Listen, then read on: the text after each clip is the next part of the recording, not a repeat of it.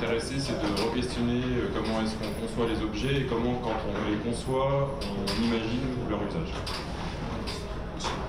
Alors, moi ça fait 20 ans que j'exerce, donc euh, quand on parle de révolution numérique autour des objets connectés, j'ai un petit peu de mal à considérer que c'est une révolution. Euh, c'est une évolution, donc ce qui va être intéressant, c'est de voir qu'est-ce que ça modifie dans l'usage qu'on a. Est-ce que est-ce que l'objet. Quel, est l'objet? Qu'est-ce qu'il fait? Est-ce que son but est vraiment différent d'un ancien objet qui n'était pas connecté Qu'est-ce qu'on amène avec cet objet euh, Est-ce que c'est une idée nouvelle Est-ce qu'elle est déjà fabriquée euh, Qu'est-ce qu'elle amène comme nouvelle réponse des, choses très très classiques. et puis surtout, est-ce que l'usage est évident Et pour qui c'est-à-dire quand vous concevez l'objet, pour qui vous l'avez conçu et, comment vous avez imaginé que cet usage allait être simple ou pas simple. Euh, ensuite, euh, est-ce que c'est nouveau Est-ce que vous faites une rupture Souvent on nous dit ah oui c'est connecté c'est nouveau. Non c'est pas nouveau. L'utilisateur lui il a un référent. Cet objet était non connecté, il fonctionnait d'une certaine façon. Le fait de le connecter ne change pas la façon dont l'objet fonctionne pour l'utilisateur. Pour nous oui, mais pour lui non. Hein, j'ai une voiture, elle est connectée ou elle n'est pas connectée, elle roule et je conduis de la même façon, a. En tout cas, moi, en tant qu'utilisateur, quand je viens dans la voiture, j'ai pas pour idée qu'elle va changer ma façon de conduire. Ça veut dire que du point de vue cognitif et du point de vue euh, usage, il va falloir qu'on se positionne dans son univers à lui, et pas dans le monde. Est-ce qu'on est sur du standard? Est-ce qu'on est sur du sur-mesure? Est-ce que c'est du grand public ou est-ce que c'est du public restreint? C'est très très différent. Si vous êtes sur du grand public, il faut essayer de toucher tout le monde. On est tous là, mais on est tous différents. Si je suis sur un public restreint, qui est un public de passionnés, qui est dans un tout petit compartiment, je vais pouvoir me permettre des choses que je ne peux pas me permettre avec le public, et inversement. Donc il va falloir quand même regarder euh, ces aspects-là. Euh, je suis désolé, mais la, mise en page a changé avec le, format de, PowerPoint. Euh, qu'est-ce qu'on propose comme usage? Est-ce que c'est intéressant? Quels sont les inconvénients? Nous, on voit toujours comme concepteur les avantages, mais regardez les inconvénients que vous apportez à l'utilisateur. J'ai un frigo, il est connecté. Avant, il marchait. Maintenant, quand il n'y a plus Internet à la maison et j'habite à la campagne, il ne marche plus. C'est un inconvénient, c'est pas un avantage. Donc, comment vous le concevez pour que ce soit un avantage pour votre utilisateur? J'ai mis quelques petites choses là. Le NutriCook, euh, ok, il est connecté, euh, il permet de me connecter à Internet pour avoir une recette euh, quand, je fais, quand je cuire quelque chose. Est-ce que c'est vraiment pertinent? Est-ce que est-ce que c'est ça dont j'ai envie? Si j'ai acheté le produit, oui, mais est-ce que c'est suffisant pour que j'en fasse quelque chose à la deuxième utilisation? Une ampoule connectée qui, qui fait de la lumière, qui fait de la couleur et qui fait du son. Intéressant, mais comment je pilote ça? Est-ce que je suis obligé d'avoir mon téléphone? Est-ce que je suis obligé d'avoir un, un nouvel organe de commande? Comment j'agis sur le, sur le device. Euh, j'ai une, centrale de, commande, le troisième exemple euh, de, Guillaume Lebray, une centrale d'alarme qui est connectée. Qu'est-ce que ça va amener comme problème de sécurité? J'avais un device qui était stable, qui était fiable, tout d'un coup je l'ouvre sur Internet, qu'est-ce que pour moi ça veut dire en tant qu'utilisateur? Le jour où je me fais pirater mon compte Facebook, est-ce que vous rentrez dans ma maison? Quoi le niveau de fiabilité de ce qu'on amène avec la connexion. Euh, et puis, euh, objet connecté, c'est un exemple que j'ai piqué à Jean Pomin, euh, qui est quelqu'un que j'aime beaucoup, qui a fait une bidouille pour tester la température de sa bière dans son frigo. Voilà, donc on est sur un objet, un objet connecté. le device est intéressant, qu'est-ce qu'on en fait hein, on en revient à l'usage, pourquoi est-ce qu'il l'a fait? Parce que lui, il voulait trouver un truc qui lui permettait de savoir la température de sa bière dans le frigo, ce qui est quand même un peu différent que la température du frigo en soi. Donc on va être sur c'est quoi l'usage qu'on me propose. Hein, alors c'est anecdotique, j'ai pris celui-là parce que c'est une bidouille qu'il a fait, mais c'est vraiment ça. Lui, lui la température du frigo, il s'en fout. Ce qu'il veut, c'est que sa bière soit fraîche. C'est un peu différent dans, le positionnement. Euh, deuxième problème qu'on a avec les objets connectés, c'est que vous ramenez à la vie des objets que l'utilisateur ne connaissait pas. Moi, je m'occupais jamais de mon frigo. Si je le connecte et que ça veut dire qu'il faut que je m'en occupe sur mon smartphone, c'est quoi l'intérêt? Je ne dis pas qu'il n'y a pas d'intérêt, je, dis juste, attention, vous me, ramenez des objets qui étaient inertes en visibilité sur mon smartphone. Ça peut quand même poser question. Donc il y, a, trois, types de, questionnements pour moi.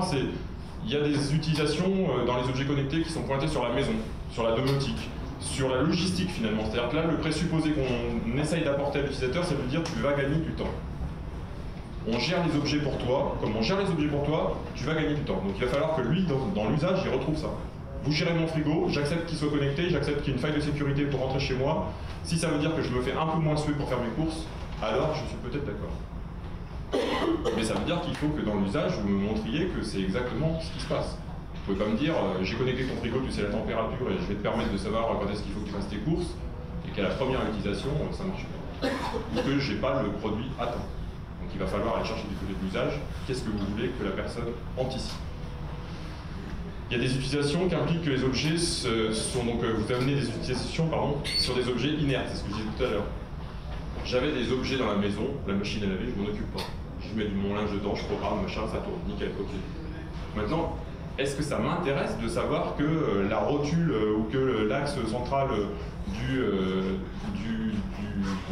tambour, j'y arrive plus, du tambour fonctionne pas oui, ça m'intéresse si vous me le livrez. Si vous me dites, voilà, on a une pièce défectueuse, qu'est-ce que tu fais? Tu décides, tu fais, tu fais pas. Par contre, si on me dit, euh, ça fait trois jours qu'elle est défectueuse, euh, j'en fais quoi? Hein, Pourquoi est-ce vous me ramenez de la connaissance sur cet objet qui était avant inerte? Je m'en occupais pas.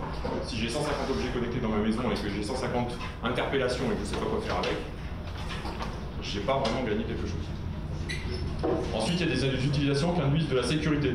La mienne, celle des autres, celle des miens si je connecte un objet et que j'ai la perception, donc on est dans un autre univers pour l'utilisateur, hein, c'est vous mettez en danger sa vie, sa maison, les siens. Donc là, ce qu'il va falloir, ce sur quoi il va falloir jouer, c'est sur la fiabilité et la sécurité de ce que vous proposez.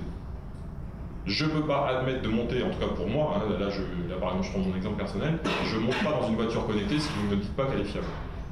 Et ça veut dire que l'interface, elle ne peut pas être la même que celle de mon frigo. Mon frigo, s'il ne marche pas, franchement, moi, personnellement, j'en ai rien à faire. Ma voiture, ça me gêne un peu plus quand même. Donc on n'est pas du tout au même endroit en termes d'interface. Il y en a une qui doit montrer que j'ai le contrôle, c'est sécuritaire, c'est sécurisant, pardon, euh, c'est fiable, ça ne plante pas. Il y en a une autre qui doit être peut-être dans le loisir ou dans la logistique, mais c'est pas euh, pas du tout la même façon de présenter l'information et non plus et ni de l'utiliser. L'utilisateur, ensuite, il a un point, de vue particulier qui n'est pas celui du concepteur, c'est pas le vôtre. Hein. il ne voit pas les choses de la même façon. J'ai pris trois, trois petits dessins, mais vous avez imaginé un produit avec une certaine idée, ce qui a amené la création de cette idée ne transparaît pas pour l'utilisateur naturellement. Hein, souvent on dit oh ils sont chiants ces utilisateurs, ils ont, ils ont euh, pas utilisé mon produit comme ils devraient. Non, non, c'est pas qu'ils l'ont pas utilisé comme ils devraient, c'est qu'ils l'ont utilisé comme ils l'ont compris. Ce qui est quand même très différent. Vous avez conçu un produit, ils l'ont reçu, ils ont pris ce produit, ils se sont dit tiens, comment ça marche? Et ils ont interprété. C'est-à-dire ils ont regardé le produit, ils ont regardé ce que vous proposiez, ils ont regardé l'interface, et à partir de ça, ils ont fait une analyse mentale, ils se sont dit bah ce truc-là, ça doit fonctionner comme ça. Et si au final, ils font n'importe quoi, de notre point de vue à nous, le concepteur, c'est que très certainement ce qu'on leur a proposé comme interprétation n'est pas tout à fait clair. donc c'est comment est-ce que vous interprétez ce que les utilisateurs ne comprennent pas de votre produit. Euh, qui sont vos utilisateurs réels je, suis vraiment désolé, c'est tout, euh, c'est tout euh, au niveau de la présentation. qui sont vos utilisateurs réels Donc on a travaillé avec ExoPlus, avec Squadron dans, le développement de l'application mobile. Hein. Donc pour ceux qui ne connaissent pas Squadron, c'est on conduit un drone et il se repère à la position de votre téléphone. Ce, que, ce que Squadron voulait, c'était que j'ai un drone que je ne pilote pas. Hein, on voulait pas faire, euh, c'était pas une radiocommande. Donc je dis au drone, tu te repères par rapport à ça, je le fous dans ma poche, je fais ce que je veux, le drone me suit. Euh, dans nos utilisateurs, donc on a demandé à la communauté, il y a 2000 utilisateurs, on leur a demandé, il y en a 66% qui ont des iPhones. C'est l'image standard du marketing, mais c'est pas la réalité. Hein. en novembre dernier, il y avait une conférence de, de Facebook. Facebook dit aujourd'hui, les utilisateurs principaux sont Android c'est ce que je vous ai mis là, 87% euh, des utilisateurs de smartphones sont Android, 13% seulement Apple. Donc si vous concevez un produit pour un, utilisateur Apple, plutôt VIP, plutôt cadre dynamique, on se trompe un peu de cible par rapport au grand public. Les utilisateurs de téléphone portable aujourd'hui sont des Android. Donc là, il fallait, il fallait vérifier. Donc euh, on était parti sur un développement Android extrêmement dur. Finalement, on a bifurqué en revenant de façon extrêmement forte sur iOS parce que c'était nos utilisateurs standards. Là, on a un taux de pénétration sur Apple qui est extrêmement fort et on a, dans notre 66% d'utilisateurs qui ont des iPhones, il y en a énormément qui ont l'iPhone 6 déjà. Donc c'est du délire. C'est-à-dire qu'on est, on est sur une niche d'utilisation. Ça nous permet des choses aussi en termes de, de produits. Quand on parle de, d'objets connectés et digitalisation, moi j'ai un, souci parce qu'en en fait, on, on, conçoit la digitalisation comme étant toujours une amélioration de la partie humaine. Moi je suis ergonome, donc ça ne vous surprendra pas, j'ai tendance à considérer que c'est le contraire qui se passe. C'est le digital deviendra intéressant s'il est humanisé. Si on tient compte du fait qu'on est plus intelligent que les machines. Si on nous met des interfaces, si on nous met des machines qui restreignent notre capacité de penser et qui nous mettent dans des processus où on n'a plus de liberté de choix, ben on deviendra débile. Et les produits qu'on concevra seront eux aussi débiles. Donc il faut absolument que dans la conception, vous arriviez à imaginer qu'il y ait des usages différents. Et ça, c'est super pénible pour un concepteur. J'ai imaginé un scénario, et moi, quand j'arrive à l'ergonome, je dis ouais, mais bon, les utilisateurs, t'en as moins 10. Donc lui, il va faire comme ça, lui, il va faire comme ça, lui, il va faire comme ça, lui, il va faire comme ça, il va faire comme ça. Comment tu fais un déterminant, comment tu fais un processus commun qui permet à tout le monde de euh, travailler? Il y a des gens qui aiment le détail, il y a des gens qui aiment les objectifs, il y a des gens qui aiment les, enjeux, il y a des gens qui aiment les émotions. Bah, cet utilisateur-là, il ne va pas du tout utiliser votre produit de la même façon, ces quatre utilisateurs. Ils n'ont pas du tout la même façon d'analyser le monde. Donc il faut qu'on. Nous, ce qu'on essaye, c'est de faire en sorte que ça, s'ouvre. Et donc qu'il y ait de la régulation. Je dois pouvoir choisir si on me met une alerte pour me dire que mon frigo est vide. Ouais, ok, c'est le concept du produit euh, du frigo connecté. Mais moi, j'ai envie de dire, euh, écoute, euh, tu me fais pas chier le mercredi, je m'occupe de mes gosses. Donc le mercredi, l'alerte du frigo, j'en ai rien à faire. Hein, c'est moi, moi qui suis le, le, maître sur l'interface. C'est pas l'interface qui m'impose des trucs. Ou alors si elle m'impose des trucs, qu'elle me dise pourquoi et c'est quoi mon bénéfice? Donc il faut, faut remettre de l'humain dans la régulation, ce qui nécessite des algorithmes un peu plus, un peu plus chiadés en termes de développement. Il faut, faut, aller chercher des choses un peu, un peu plus fortes au niveau de la conception. Et ça veut dire que dans vos scénarios, vous avez intérêt, en tout cas nous c'est ce qu'on préconise, à avoir un scénario pour le novice, quelqu'un qui ne connaît pas le produit, ne peut pas l'utiliser ou ne sait pas l'utiliser, pour le moyen, le médian, l'être humain moyen si, tant est qu'il existe, et puis pour l'expert, celui qui va chercher tous les petits détails de votre interface et qui va optimiser à mort l'utilisation. Il faut au moins ces trois-là, parce qu'ils n'ont pas du tout la même stratégie.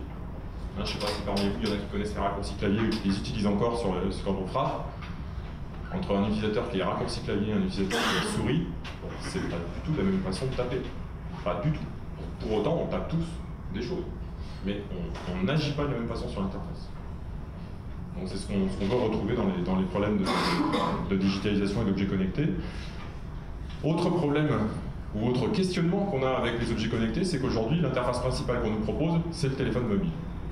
Donc on va arriver à un problème, c'est que en gros, hein, avant on avait, euh, on avait la télécommande, c'est-à-dire je me levais pour aller euh, changer les programmes. Moi je suis d'une époque où c'était, ça m'arrivait encore quand j'étais petit, hein, de me lever parce que mes parents me demandaient d'aller changer la chaîne. Euh, après il y a eu les télécommandes, et maintenant en fait on a changé le concept, on a mis la télécommande dans la main de l'utilisateur ou dans sa poche. Je l'ai avec moi. Donc ça c'est bien, mais si c'est que ça, ça va nous poser vite des, soucis.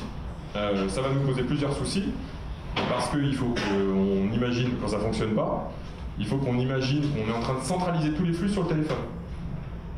Donc on va saturer. Il y a un moment où vous allez en avoir marre que votre téléphone vous sollicite et vous le foutrez dans un coin et vous ne l'utiliserez plus. du coup, on aura perdu nos applis et nos objets connectés.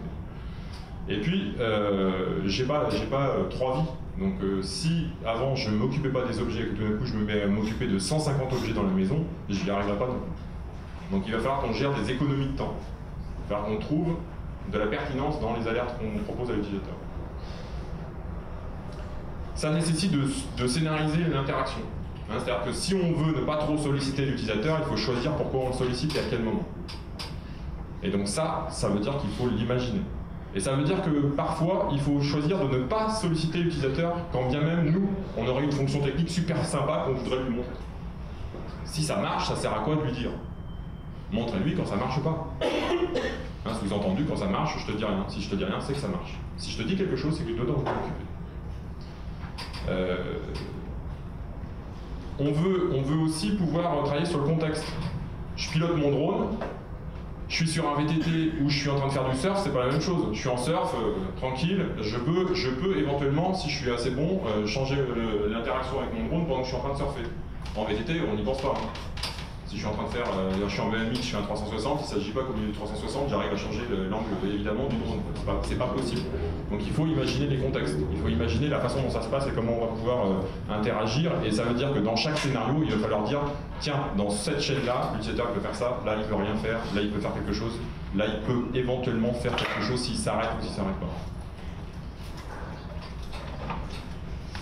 Ça veut dire euh, construire, donc ça veut dire une démarche, ça veut dire que vous devez faire appel, enfin c'est hein, mon credo d'ergonome, faites appel à, vos- à des utilisateurs, des vrais, pas vos potes de dév- pas vos potes d'équipe, pas vos développeurs d'à côté, des vrais utilisateurs, des gens qui pensent pas comme vous. Des gens normaux, ouais, des gens qui n'aiment pas la technologie. A priori, enfin, qui n'aiment pas sous-entendu, c'est-à-dire ils n'aiment pas de la technologie qui sert à rien. C'est en fait eux quand ils nous disent qu'ils n'aiment pas, c'est pas qu'ils n'aiment pas, c'est qu'ils trouvent que c'est pas suffisamment efficient. Donc il faut trouver quelque chose qui leur, qui leur permette d'avancer. Avec l'équipe complète, pardon, avec l'équipe complète, avec tout le monde, avec le marketing, ce que, ce que, quand on fait des tests utilisateurs, moi ce que j'entends en, tant qu'ergonome, c'est très pauvre par rapport à ce que vous entendez. Si j'emmène un- quelqu'un du marketing, il va entendre quelque chose de marketing. Si j'emmène un développeur, il va entendre développeur. Moi, en tant qu'ergonome, j'ai mon prisme d'ergonome et je vois une toute petite partie du monde. Donc si vous faites des tests utilisateurs, emmenez les gens. C'est un moment de partage, c'est un moment où vous êtes en direct avec vos utilisateurs. Dehors, pas dans les bureaux. Vous êtes trop de- derrière vos ordinateurs, on est tous trop derrière nos ordinateurs, donc il faut aller rencontrer, il faut aller perdre du temps, il faut aller regarder le soleil, il faut rencontrer les gens, et il faut voir ce qu'ils en racontent, et il faut voir ce qui se passe quand euh, ils rencontrent votre produit. Euh, il faut aussi tester euh, des, des choses qui... Trop souvent, moi ce que je vois, c'est que dans les tests utilisateurs, vous cherchez, enfin on cherche tous à valider le produit. Hein, on veut que l'utilisateur nous dise ouais c'est super ton truc. Non, mais c'est pas ça qu'il faut, ce qu'on veut. Ce qu'on veut quand on fait des tests utilisateurs, c'est voir si ça marche. C'est pas pareil. On ne veut pas valider le concept.